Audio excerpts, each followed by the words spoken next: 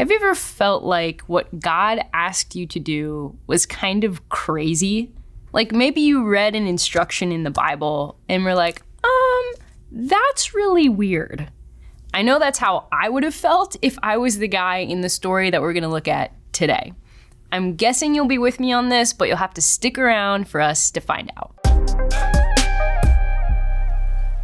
Well, what's up, Bible nerds? I am so glad that you're here, and I'm excited to jump back into the biblical narrative, the big story of the Bible, and look at another familiar part with hopefully a new lens. Because what all of us as Bible nerds know is that to read the Bible wisely, we remember that Jesus is king and context is everything. Reading the Bible through this lens helps us realize that the whole Bible is a story that's meant to lead us to Jesus and invite us to become more like him. So, with your Bible nerd glasses on, let's dive in. The story we're looking at today is actually pretty wild. It's the story of Joshua and the walls of Jericho. Now, I remember watching the Veggie Tales episode about this as a kid. Yes, the classic version of Veggie Tales, not this new Netflix garbage. Yep, you heard me say it. In this particular episode, one of the things that I remember most clearly is that the veggies of Jericho stood up on the walls and literally dumped truckloads of purple slushies on the heads of the Israelite veggies as they walked around the walls of the city. It was a really goofy depiction of what the real Israelites probably had to endure to obey the instructions that God gave Joshua. What were those instructions? I'm so glad you asked.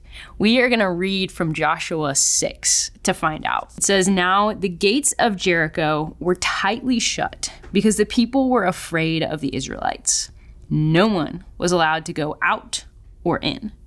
But the Lord said to Joshua, I have given you Jericho, its king, and all of its strong warriors. So you and your fighting men should march around the town once a day for six days.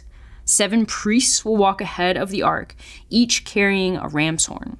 On the seventh day, you'll march around the town seven times, with the priests blowing the horns. When the priests give one long blast on the ram's horn, all the people should shout as loud as they can.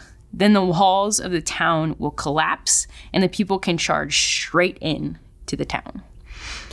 Really weird battle plan, right? Like, let's put the pastors in the front and let's give them horns to draw attention to this weird thing that we're doing. Oh, yeah, and on the last day, right before we charge in, we're gonna scream at the top of our lungs and the walls are gonna come crashing down. What was the point of that strategy? What, what we need to remember is that God has been inviting the Israelites again and again and again since he rescued them from slavery in Egypt to trust him, to put their faith in him. What did that mean for the Israelites then? And what could that mean for us now? Well, what you need to know about faith is that it is trust based on evidence that leads to obedience. To help me understand this, I think of the friends and the mentors that I have in my life and how I grew to trust them based on the evidence of the times when they showed up for me, when they had my back, or they did something to demonstrate that they really care about me. As a result, I am willing to take their advice, to do what they tell me to do. That's trust based on evidence that leads to obedience. And the really good news is that God is more trustworthy than anyone or anything else. Why can I say that? Because God is consistent. The scripture tells us that He's the same yesterday, today, and forever. He doesn't change. So, what's true about God will always be true about God. And listen to this description of His character in Exodus 34. This is how God introduces himself. It says, The Lord passed in front of Moses, calling out, Yahweh, the Lord, the God of compassion and mercy. I'm slow to anger and filled with unfailing love and faithfulness. I lavish unfailing love to a thousand generations, and I forgive iniquity, rebellion, and sin. But I do not excuse the guilty. This is who God revealed himself to be to the nation of Israel.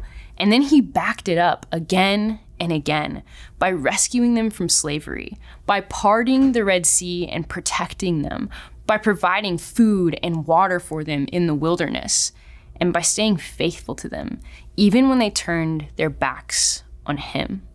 He was so incredibly patient and present with them, even when they let their fear hold them back in the desert for 40 years.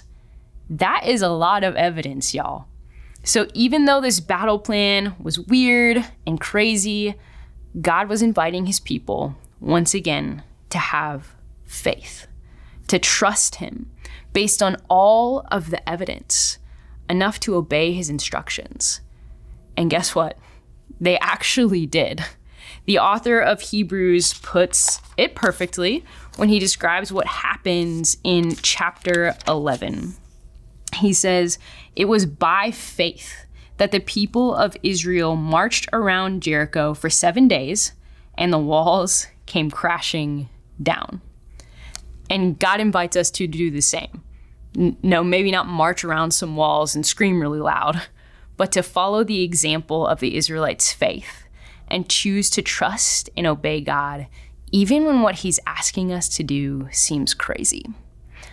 Honestly, think about how crazy it sounds that God's plan to save the entire world was to come as a human baby, to grow up and mature like everyone else, and then to overcome death by dying. Like, what? Can you imagine hearing that? Can you imagine Jesus growing up and knowing that that was the plan? Like, okay, dad, the plan is to defeat death by dying. Got it.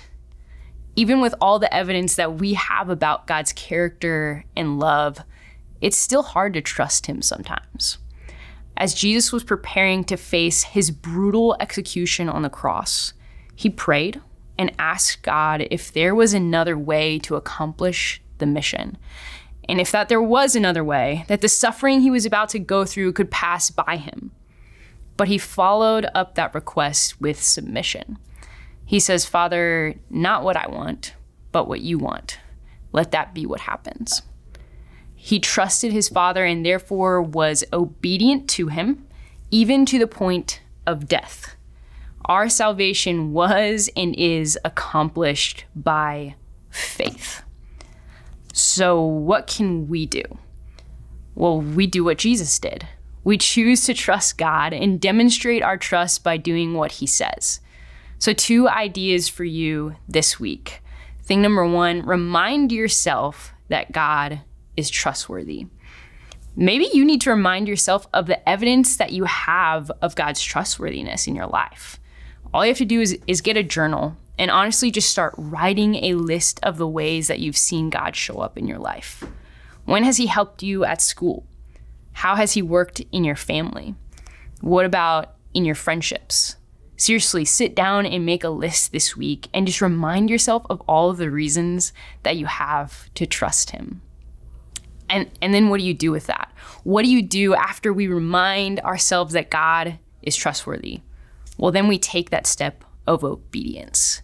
Maybe you've felt like God has been prompting you to forgive that friend and reach out to them again.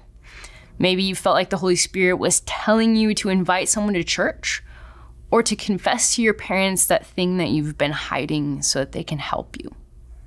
Do it. Take that step. And as you take steps of obedience, you'll realize even more that you can trust God because you'll gain more evidence as you walk in obedience, because you'll realize that He is faithful to you with every step. With all that being said, I am really excited for the opportunities that we will have to trust God this week. I promise that they're coming. So if there's anything that I can be praying for you for, drop it in the comments below because we would love to pray with you. But until next time, my friends, keep on reading and stay nerdy.